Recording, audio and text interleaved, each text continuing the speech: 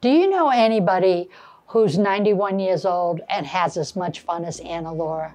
I don't think so, but she is about to learn how to draw after all these years.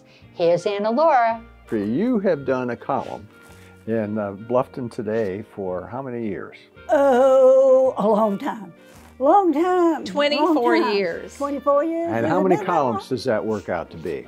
Long? Uh, right at 2,000. I don't know. Multiply. More than 2,000. A lot, a More than lot, 2,000. a lot. I tell you the truth, I can't draw worth a two. I tried. I had a darling friend, and she was opening a boutique, and anyway, she was going to have to paint it.